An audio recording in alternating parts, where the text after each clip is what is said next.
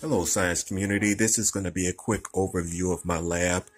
The images of my charts are intentionally blurred because a lot of the things here are, are still um, pending patents. Here's a my one workstation. I have different cooking devices that I mix my formulations with. More charts on the wall and over here is another section that has my test tubes, my inversion microscope, and two antennas that I designed that are hooked up to some portable radios.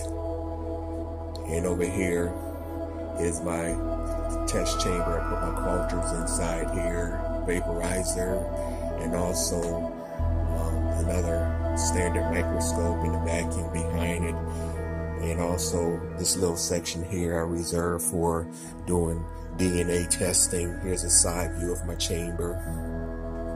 And up here on the wall are more charts that I have designed over the years that talk about my formulations and all, also metabolic pathways that help understand why my different serums and formulations work.